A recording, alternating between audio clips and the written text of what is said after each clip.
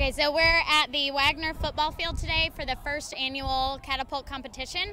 Two, one. Our freshmen have been working on their catapults, building them, designing them, researching them in conjunction with our unit on quadratic function. It was like kind of hard because there was no blueprints. So we made blueprints of our own. Like we have to calculate the height and then we have to calculate the distance. So today is like the big day where they finally get to play with their designs. Oh. So the whole plan is we're gonna hold it back and then let go and it's fly out. They start by researching about catapults and kind of figuring out what they were used for and how different designs look and different materials they can use. Instead of uh, flinging something, it's going to be like a slingshot.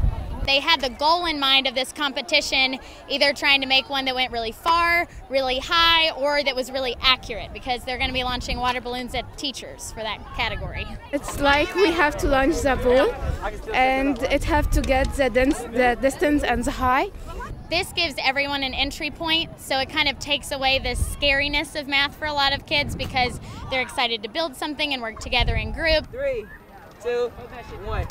We've got some that go shorter, but they're really accurate and consistent, and so it's really neat to see all their different designs like coming to life.